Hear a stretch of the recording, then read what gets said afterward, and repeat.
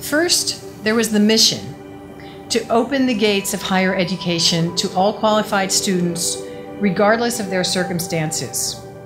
Because UoPeople, as we call it for short, is not just a university, it's actually a promise. Our student body consists of refugees and displaced persons who have lost their safety net, women who refuse to be silenced, minorities who are oppressed, immigrants who are denied the most basic services, and all those who dream of a better life for themselves and for their families.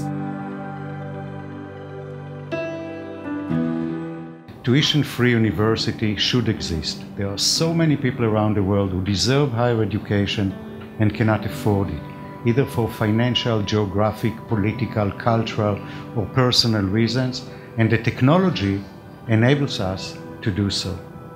As far as I'm concerned, the past 10 years went too fast and we just started. Let me take you back in time in my life, uh, roughly 21 years ago. I took off for New York, as she said, with $20, a bag of clothes, and hopes, big hopes.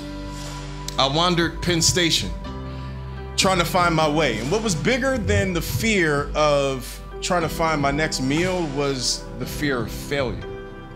But it was the heart of a few good people with an abundance of resources who cared enough to surround me and take care of me.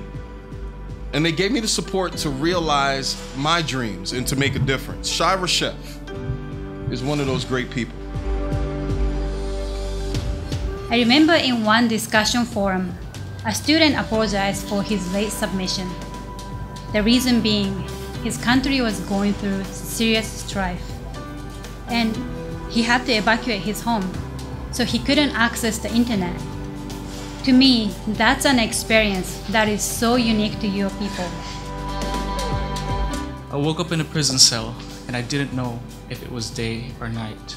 I was 16, frightened and cold. Just the day before, I found myself with my mother and my two sisters at the doorstep of the United States pleading for our safety.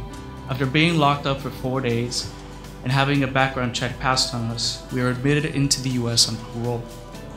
This journey started because our hometown grew increasingly violent and we had to leave. Education has always been one of the most important things in my life, and seeing as I could not attend a regular college in Idaho, I needed to find another way that I could continue my studies.